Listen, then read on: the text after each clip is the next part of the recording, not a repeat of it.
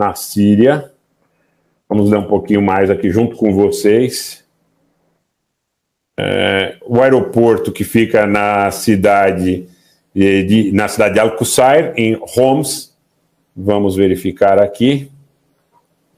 É um aeroporto que é utilizado também pela Força Aérea Síria. É um aeroporto que tem importância estratégica fundamental, inclusive em relação à sua utilização nos combates que foram realizados contra aqueles grupos extremistas ligados à Turquia, tá?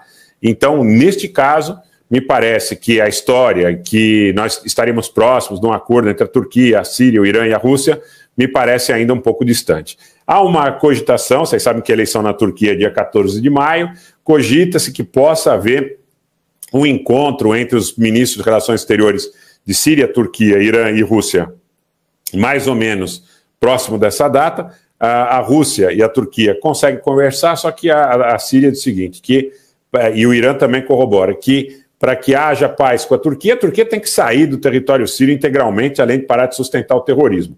Só que os turcos já fizeram uma declaração expressa que eles não vão deixar a República Árabe Síria no atual contexto. Então, vai ser praticamente impossível que haja essa construção, tá? É, muita gente acaba se iludindo, achando que uma simples fala de Moscou em relação a essa questão resolveria, mas há muitos interesses ali envolvidos.